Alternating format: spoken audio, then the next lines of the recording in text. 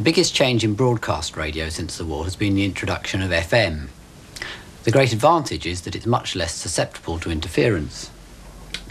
The spark, which drowns out AM radio, is hardly audible on FM. Mrs. Thatcher, why should use the phrase guerrilla warfare?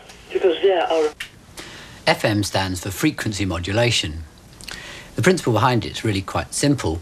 Instead of the sound altering the amplitude of the radio waves, as in AM, it alters their frequency.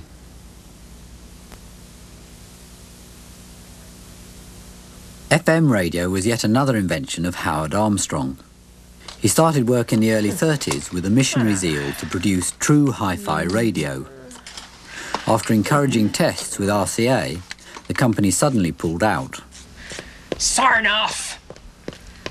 Well, why have you cancelled my project? Ah, get off my back. Hi-fi never radio you is the thing We're into of the TV future. now. When FM radio was becoming established, Armstrong and RCA started a lengthy battle over the patents. We this You have FM stolen radio. my ideas. He's You lying. did not. He's I, just a I was the hound. inventor. Certainly not. How, how can This you had a disastrous effect on his health and on his marriage.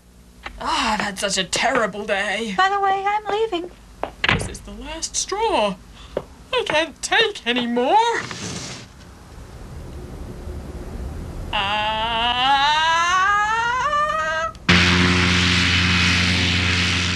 FM has now become firmly established and is invaluable for radio communications as well as for broadcasting. When I fly my little aircraft, I use radio. I personally wouldn't fly without one. This enables me to keep in touch with air traffic control and other air users, and also airfields to tell them of your intentions. And if you do happen to get lost, air traffic control can help you find your way. And it also is a navigational radio.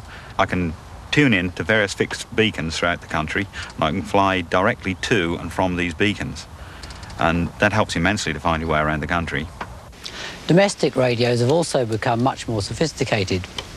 Many now have automatic push-button tuning and the sound quality can be very impressive, particularly in stereo FM. But despite this improvement, radio has really been eclipsed by television and other modern marvels, and radio sets aren't the important prized possessions they once were. In fact, the whole idea of a separate radio set is rather disappearing. Radios now tend to be combined with uh, cassette tape recorders or alarm clocks or hi-fi systems. Radio is so taken for granted today, it's hard to think of it as magical anymore. But I hope in this programme I've managed to persuade you that it still is.